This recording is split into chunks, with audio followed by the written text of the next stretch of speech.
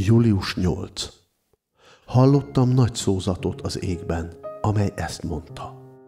Most lett meg az üdvösség, az erő és a mi Istenünk országa, s az ő Krisztusának hatalma, mert ami atyánk fiainak vádolója levettetett, aki vádolta őket éjjel és nappal, ami Istenünk előtt.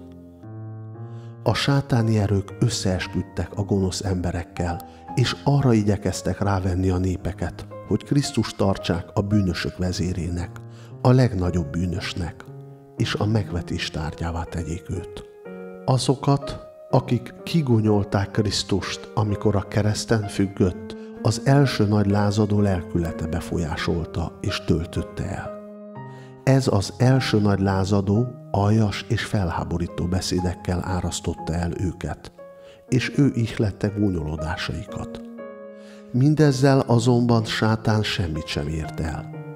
Ha valaki bűnt találhatott volna Krisztusban, és ha Krisztus csak a legkisebb mértékben is engedett volna sátánnak, hogy megmeneküljön az írtozatos kínvallatástól, akkor Isten és az emberek ellensége diadalt ült volna.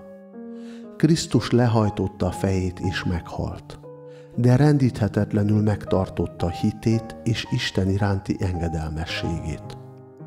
És hallottam nagy szózatot az égben, amely ezt mondta.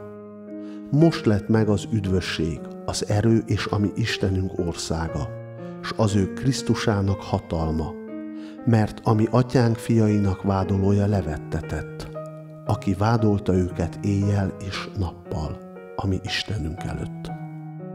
Ellen G. White Jézus élete 671. oldal és 672. oldal.